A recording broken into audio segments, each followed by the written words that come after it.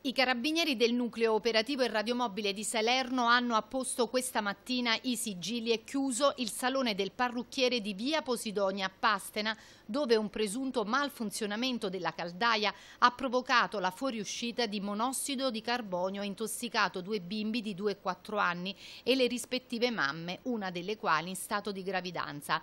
L'episodio è avvenuto nel pomeriggio di ieri. La signora in gravidanza si trova ora ricoverata in cura presso l'ospedale all'ospedale San Giovanni di Dio e Ruggi d'Aragona di Salerno, mentre le altre vittime, dopo un primo intervento presso il Ruggi, sono state trasportate all'ospedale Santo Bono di Napoli e sottoposte al trattamento con la camera iperbarica. Oggi sono fuori pericolo di vita mentre i carabinieri guidati dal comandante Antonio Corbino stanno eseguendo tutte le indagini con il supporto dei vigili del fuoco per capire anche se ci sono responsabilità sulla mancata revisione dell'impianto termico obbligatoria per legge. A raccontarci cosa è accaduto all'interno del salone di acconciatura è proprio Nunzia, la donna in stato di gravidanza al nono mese, in attesa di un bimbo e che questa mattina è stata sottoposta al secondo trattamento in camera iperbarica presso l'ospedale San Giovanni di Dio e Ruggi d'Aragona. Signora Nunzia, innanzitutto come si sente?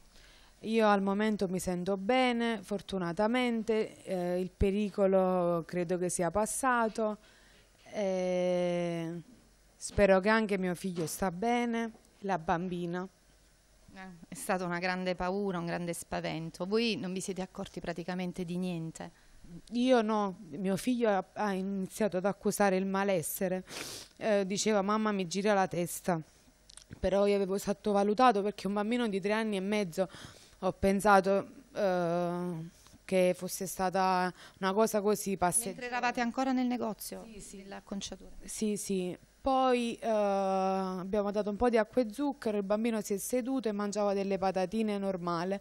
Quando poi la bimba, l'altra di due anni e mezzo, stava nel passeggino che dormiva, ha iniziato a fare eh, cose da pazzi come se fossero state crisi epilettriche.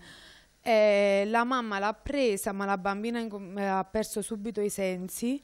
E, e, poi io mi sono divulgata vicino a mio figlio, gli ho chiesto se si sentiva bene. Avete capito che stava succedendo qualche cosa e avete deciso di venire in ospedale? Sì, sì, il, allorché mio figlio mi è svenuto in braccio, la bambina è svenuta fuori, mio figlio è svenuto in braccio senza sensi, uh, una tragedia, una tragedia Inaspettata, lei era già cliente di questo salone, non era mai successo niente? Mai, è la prima volta che vado dal parrucchiere, non andrò mai più.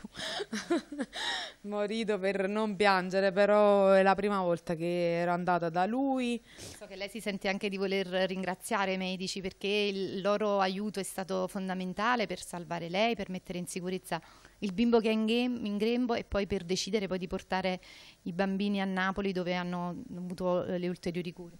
Sì, mi voglio complimentare con la pediatria del San Leonardo, l'equipe della camera iperbarica e, e tutta l'equipe della pediatria del Santo Bono che comunque da una tragedia fortunatamente è, è finita